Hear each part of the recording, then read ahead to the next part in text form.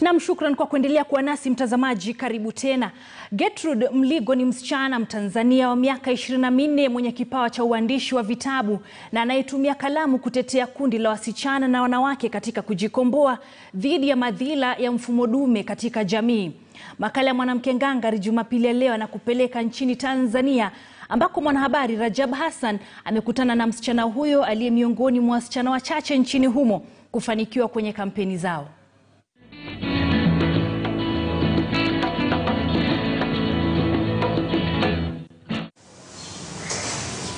Gertrude Mligo hutumia muda wake mwingi mbele ya kompyuta yake hii akitafiti na kuandika vitabu vya mada zinazolenga utetezi wa haki za wasichana na wanawake nchini hapa, ambapo mfumo dume na unyanyasaji wa kijinsia bado ni tatizo linalorudisha nyuma ustawi wa wanawake na wasichana wenzake. Kwa takwimu kubwa ya wanawake au niseme wasichana kwa ujumla, wengi wao hawajawekeza kwenye maandishi, hawapendi kusoma vitabu, na ndio maana kuna fikra hafifu zilizopo kwenye jamii kuhusu mwanamke.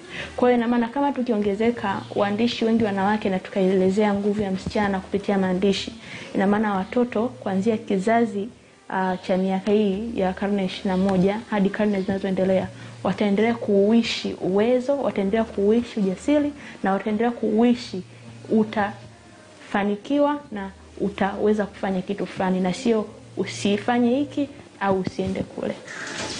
Gertrude hadi leo ana machapisho takribani nane yanayosomwa katika shule mbalimbali mbali na maktaba tofauti tofauti nchini hapa. Kitabu chake cha kwanza alikipa jina Msichana kutoka Mbinguni. Alikiandika wakati huo akiwa na umri wa miaka 19 pekee. Nilikiandika kipindi ambacho dunia ilikuwa inahamia kwenye kasi sana huku mitandaoni, naweza nikasema digitali ilikuwa kwenye spotlight kuanzia ile miaka Instagram, Facebook, Twitter. Uh, kwa hiyo watu mwisho wa siku hususan wasichana alikuwa vile alivyo nje ya mitandao ni tofauti na akiwa ndani ya mitandao. Kwa hiyo analazimika kuwa vile kwa sababu ya watu wanataka nini kuona kwenye mitandao. Labda ili upate likes nyingi unatakiwa uvae hivi, ukae hivi, ufanye hivi. Ili watu wakufuate unatakiwa useme vitu gani, vitu fulani, vitu fulani fulani. Kwa hiyo nilikiandika ili wasichana wajikubali, wajue wao ni kina nani, kwa sababu ukijijua wewe ni nani, ina maana hapo ndo unajua kitu gani hasa unakitaka kwenye mitandao na unataka ujenge nini, kukuza biashara, kufanyana na watu, kufanya kitu gani ambacho wewe kama wewe ukiingia kwenye mitandao unakitaka. Wasichana waliotengeneza umeme wa jua ni kitabu chake cha hivi karibuni, huku Dear Girls likiwa chapisho lake la mwisho.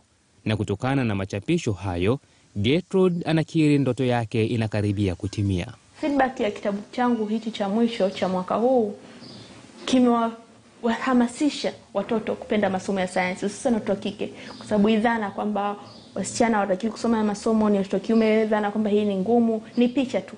Kwa hiyo hiyo picha tunavyozidi kuifuta ndivyo wasichana wanavyozidi kuelewa kwamba dunia ya sayansi na teknolojia ni dunia ya wote, haijaandikwa kwamba hii ni ya mwanamme na hii ni ya mwanamke. Mchango wa Gertrude unatambulika na jumuiya za kimataifa na makundi ya ulimwengu yanayotetea haki za wasichana na wanawake.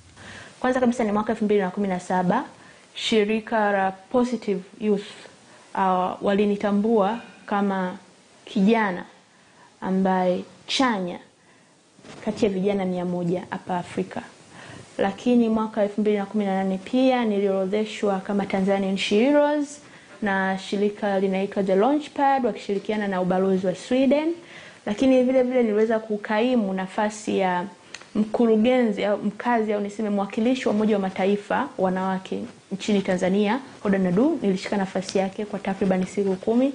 Gertrude Mligo, msichana mwenye ndoto kubwa anayeamini katika kalamu yake, anasisitiza mapambano bado yanaendelea hadi wakati ambao nguvu ya msichana itashinda.